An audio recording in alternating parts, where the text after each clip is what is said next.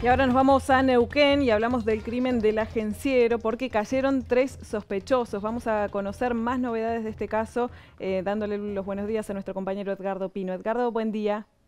¿Qué tal? Buen día, ¿cómo les va? Bien, bien, muy bien. Bueno, ¿hay novedades en relación a este caso, este crimen del agenciero?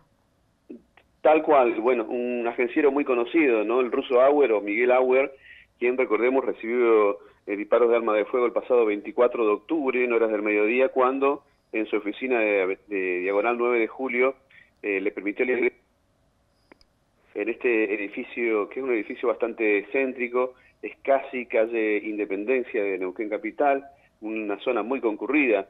Eh, ¿Qué ocurrió? Bueno, él abrió la puerta a tres personas, quienes posteriormente le efectuaron disparos de arma de fuego y luego de varios días el ruso Auer muere precisamente en el hospital eh, Castro Rendón de Neuquén Capital tras permanecer en terapia intensiva. ¿Quiénes son estas tres personas?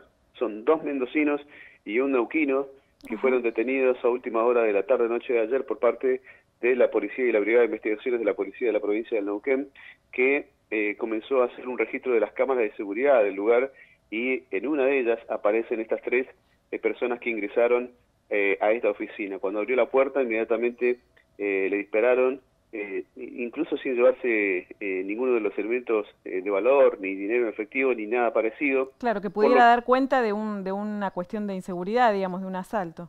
De un robo, claro, o algo parecido.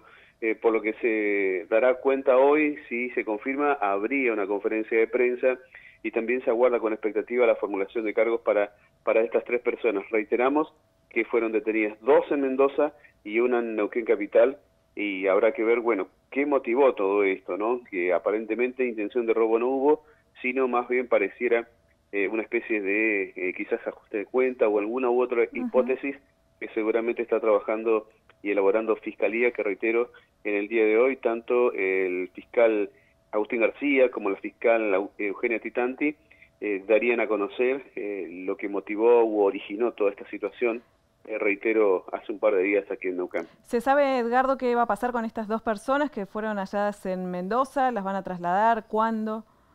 Por eso te decía, eh, se está guardando la formulación de cargos que podría darse en el día de hoy. Las personas de Mendoza ya fueron detenidas anoche, estarían siendo trasladadas a Neuquén Capital, puestas a disposición de la justicia, junto a esta otra persona de Neuquén Capital. La formulación se podría dar incluso en la tarde quizás de, de hoy o a primera hora, ni bien esté todo eh, preparado, y calculamos podría darse también después de eh, una convocatoria, si es que la hay, ¿no? porque todavía no ha sido confirmada, a conferencia de prensa para, para confirmar la detención y bueno, la, la continuidad de la causa. Seguimos en contacto, Edgardo. Muchas gracias. Que tengas buen día. Hasta luego.